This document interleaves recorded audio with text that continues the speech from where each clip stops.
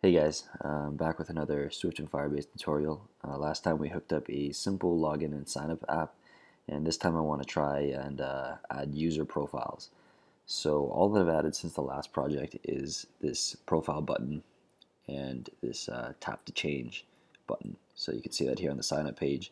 Now the user can, uh, well should be able to tap here and select a profile picture. So let's go into the sign up view controller and add a image picker so that when the user clicks that, um, they can choose a photo from their photo library.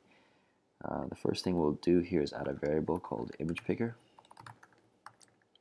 And it needs to be an image picker controller. So down here, I'm going to add, uh, I'm going to instantiate the image picker. There's a few settings I want to set. Uh, we'll say allows editing, true. And source type, I'm going to set that to photo library. And then lastly, we want to set the delegate to this uh, to our current class. And right now we don't extend the proper delegate method, so we're going to add that at the bottom. Going to uh, add an extension for sign up view controller, UI image picker controller, and also, oh sorry, delegate, and also a UI navigation controller delegate. It just, it's going to complain if we don't add that because the image picker has a um, navigation controller. So there's two methods we need to implement, and that's the image picker controller did cancel. So if someone cancels it, then we want to take the picker and just dismiss it. And for the did finish picking media, that's going to get called if someone actually, if they actually uh, tap an image and select an image. We're going to say, uh, well, we also want the view to dismiss.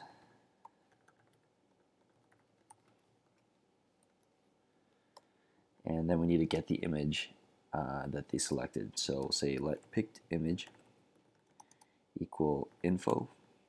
And then there's a specific key we need to use, and I think it's UI uh, image um, which one is it here? Image. UI picker controller edited image because uh, we're allowing them to edit the image so we want to get the edited image. And as a UI image. And if we got that then let's just set the profile image view which is again this image up here let's set the image to the picked image. And yeah, that sounds good. Uh, one thing I forgot is that we're not we're actually responding to this tap yet. So I've hooked up the profile image view and the tap to change profile button to the open image picker method, which is right here. So all we gotta do is say image picker, or sorry, no, self present image picker, true, nil. So let's run that.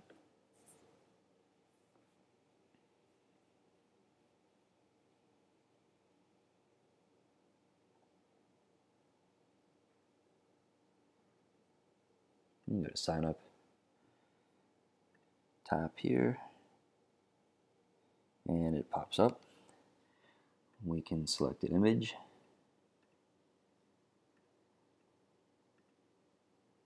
And there it is. So perfect. That's exactly what we wanted. Let's try another one. And there we go. All right. So obviously now we need to actually upload the image to Firebase and then use it, save it into the user's profile because uh, not, nothing's happening with this image right now. So we're going to put that, I think I'm going to put that here. So the way it's going to work is we're going to say, we're going to upload, after we create the user, we're going to upload the image, the profile image, to Firebase storage. Next, we'll uh, save the profile data to Firebase database. And then lastly, we'll dismiss the view. Uh, okay, so before we can use Firebase storage or Firebase database, we actually need to install the CocoaPod modules. Uh, right now, we only have the core and the uh, and the auth module. So I'm going to close the workspace and see where we are. I'm going to edit the pod file and just underneath the pod Firebase auth, I'm going to add Firebase database and pod Firebase uh, storage. And just save that and type pod install. So that should be good. Okay, now we can open up a workspace again and since we already have Firebase imported, we shouldn't need to import anything else to get the storage and database modules working. So I'm going to scroll down to the bottom of this class again. Just underneath the handle signup method, I'm going to add a new method called func uh, upload, upload profile picture, profile image. And we'll say image UI image, and it's of completion. We know it's done and we'll need a let's see we'll need a a URL of the of the image. We're going to need that returned from Firebase so I'll just say that's a string. That's how we'll know we're good. That'll probably be optional need to be optional. Okay cool. So let's upload the data. Let's make a reference to Firebase storage by saying let storage ref equals storage storage oops reference and add a child path so I'm going to say it is we want to store the profile picture under the user's username or sorry user ID so right here I'm going to add an ID which means we have to get the ID from the current user. So I'll do like this, auth, auth object, current user, UID, otherwise return because we don't have that UID. And that's kind of why we need to do that inside. We need to call this method. Let's do it here. Self uh, upload profile image. We need to do that inside this block of code because we need this user object to not be nil, basically. So now we can put UID in here. That's going to be the path that the profile image is stored at in Firebase storage. It's not a database object, it's like actually like a file in Firebase. So um, let's see, how do we upload, how do we put data onto Firebase? So we can do storage ref put and we can put data. Now, our image is a UI image, and Firebase requires it to be data of data type. So we're first going to need to guard let image data equal UI image JPEG representation. So this is going to convert the UI image into a um, data format. So we'll just say compression 0.5.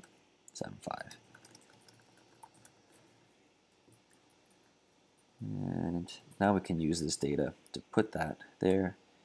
Uh, metadata, let's see, what's the metadata? Let's make some. Let metadata equal storage metadata. Can we edit here? So these aren't really necessary, but we maybe it'd be good to put a content type. We can say it's an image JPEG. Uh, maybe image JPEG. That might be useful down the road, but we don't really need that right now. So just put that there. And the completion returns a metadata object and an error. So let's go metadata and error in. So I'm going to assume that everything goes well if the error is nil and the metadata isn't nil. Success. Uh, otherwise, uh, you know, failed. So if it's failed, we're gonna we'll just do self. We'll do completion nil. Otherwise, we're gonna want to pull the download URL from this metadata. What, what, do we what do we have here? Ah, perfect. That's what we wanted. The download URL. And actually, it's you know what? It's a URL type. Let if let uh, URL equal. So let's get the absolute string of that. Oops. Absolute string. So we can do completion URL. Otherwise, completion no. Okay, solid. So up here, I'm also going to put a guard for the image. So we get the image equals user, sorry, profile, image view, image, else return. We'll pop that image in here. Let's add a completion. Let's say URL in. And so this URL, which we uploaded, which we got here, is going to be the file path uh, for to, to download the image. So now that we have the profile image URL, we pretty much have the complete profile user data, and we can save that to the database. Uh, first, I'm going to move the change request into the completion block here. And there's one more thing we can add to this change request, and that's the, uh, the photo URL. We can set that to this URL. I don't tend to use these um, these attributes of the user object in Firebase. I just don't find them that useful. So, but you know, if you, if you want to put this here, then that's a, definitely a good place to put it. Uh, it says that string to URL is a problem. So actually, yeah, you know what, let's change this to URL in the completion. Then we don't really see, we don't need to say absolute string here and we'll use that somewhere else. Okay, so then we commit these changes to the user object, and again, that's changing the user object, uh, the Firebase user object, but we kind of want to save our own database object, just one that's easy to, to read and, and edit, um, you know, for whatever reason we have. I'm going to remove the self-dismiss here. And let's create the code to actually save to the database. So underneath the upload profile image function, I'm going to add a save profile function, and that's going to take a username string, a profile URL, uh, profile image URL. That'll be a URL type, and I think that's pretty much all I'm going to save right now into the database. So, and we'll call that in here. So if the changes went through, then we can do self save user profile. We'll put the username string and the URL of the profile image. And I guess we're going to need that same completion here. Sorry, copy this here. But we're not going to to return a URL in the completion. We're just going to save it if it uh, succeeded or not, success, which would be a bool. And we'll add the completion, success, in. Okay, so now let's actually write the code to save the profile. Now let's make a database ref. And it's kind of like the storage, same thing, so we're going to write database.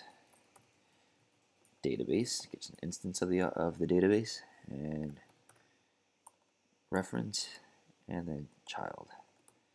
And I'm going to save users under the path uh, users, profile, and the UID. Oh, so we need that UID. Let's put that. Where do you want to put that? All right, let's just get the UID. Similar to how we got it here. Add a guard. And put it there. So to set our data, I'll call database ref set value. Uh, I like to use set value with completion block which returns an error and a database reference uh, to where the data was saved. I'll uh, get back to the value and for now just put error and ref in. So to define our, our value, let's say user object and do a string to any dictionary as uh, sorry string to any and let's say that the username is username and the photo oops photo URL is profile image URL and that's our object. We'll pop that right in there. And we'll say completion. And it succeeds if error is nil. Alright, cool. Go back up here, save profile. We send in the username, the profile image, the URL, and put that in. You know, I just realized something, and that's that we going to want to set this, right now this is a URL object, we're going to want the absolute string just to give it a nice clean path to save to the database. Awesome. And now if success, what's going on here? We got a problem. Profile image not unwrapped. Okay. What happened? Oh, all right, so we're not checking here. We need to add a check if URL not equal nil. And we need to put all of this inside because that profile image may not it may not have saved properly, in which case we have a problem, uh, and we'll want to handle that like, somewhere else. Error unable to save profile to upload profile image. So if success, back in here, then we just do self dismiss. Let's clean this up a bit. Remove some of these here. Okay, so that was quite a bit of code. Um, yeah, let's add a force unwrap there. That was quite a bit of code, but it should all run unless we have some issues. So let's give that a test. Alright, so let's give that a shot. Let's go sign up. And let's select an image.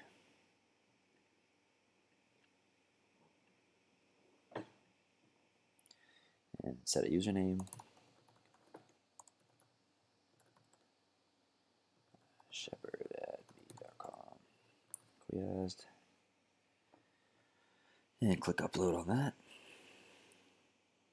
Logged in, so everything seems to have went well. Let's check our Firebase. First we'll go to storage and see that there's a folder here called user, that's good. Uh, that's the UID of the user that was created. And there's our image, which is awesome. And you see here, this is the file path. view. this download URL. This should be the URL that's saved into our database. Uh, and we can just visit that URL right now to download it. And there you go. There's the image. Cool. So if we go to database, users, profile, there's that UID again, username Commander Shepherd, and photo URL. There it is. So perfect. Now uh, in the app, users will be able to download this user profile which contains a username and a photo URL and that's pretty much all you need. And obviously it's just two entries right now. We'd probably want to add a few more attributes to the user profile but that's the basic idea of what we want in our app. So in the next video I'll show you guys how to download these profiles on the client side download the image and display it in some kind of post format or you know let users upload posts and things like that. So alright we'll get to that next. Thanks for watching guys